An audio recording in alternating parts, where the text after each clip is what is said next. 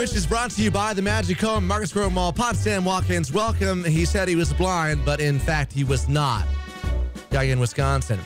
$175,000 in Social Security disability fraud. What he got over the years. His name is Lawrence Pop. Got a year in jail. Yeah, because he said he was blind to get disability.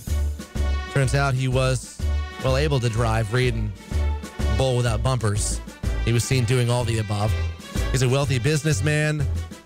He was still working too. Yeah, going on lavish vacations, Cayman Islands, and they busted him down that way as he's driving his speedboat. Blind man can't drive a speedboat. He wasn't blind.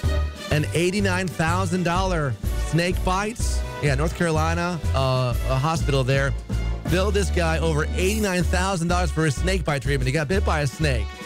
They say um, of that money, 81,000 was for four vials of anti-venom.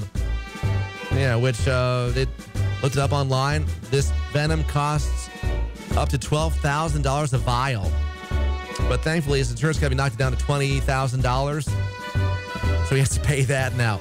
And I guess last year, um, a gal in Maryland was charged $55,000 for a snake bite. What's the lesson here? Don't get bit by snakes.